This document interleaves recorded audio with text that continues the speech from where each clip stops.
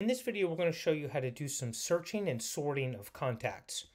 You have your normal search messenger bar, but the extension adds search labels and we can select by filter.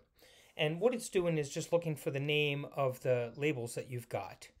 And so let's say I'm looking for people with GMCRM tag. You'll see right away it's not case sensitive. Now it doesn't start the search until you hit return or enter.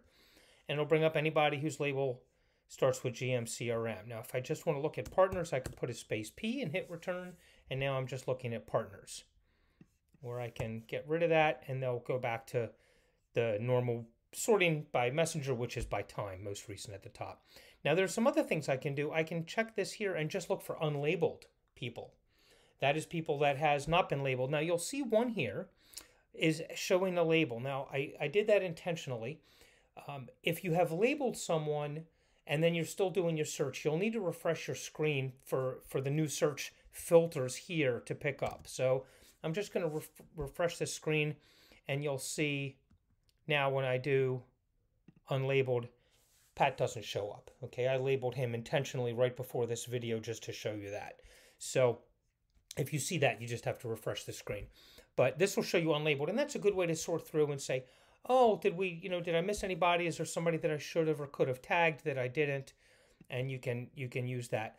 You can also check what was sent by you last, and that's a good way to go down your list and see if there are people that you're still waiting for responses from. And you can even sort this by label. So let's say I want to show people in the GMCRM partners group the, the last message was sent by me. So I'll just hit enter there, and these you'll see you, you, you. So I sent the last message, and that just lets me know, like, here's one here, are you still having?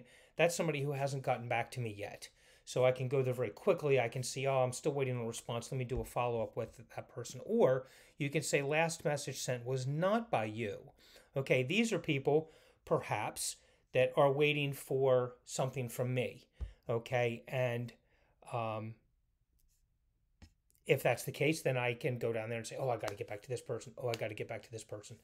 And that's a, just a good way to sort people. And you can hit select filter and it'll just go back and show you all those, or we can delete them. It'll go back to the regular search. So that is for now how to search and sort your labels. We are going to be adding tags very shortly so that you can add multiple types of filter things um, to people and you'll be able to, you know, for instance, partners who are waiting on this or who are involved in this project. Maybe I have different partners for different softwares. I can put them in a partner category and then I can tag them with a different, you know, one tag for each software they're a partner of, for example. And then you can do more refined search. So that's coming soon. But for now, that's how search works and that's how the filters work. As always, if you have any questions or something doesn't seem to be working right, please reach out to us. We'll be happy to help.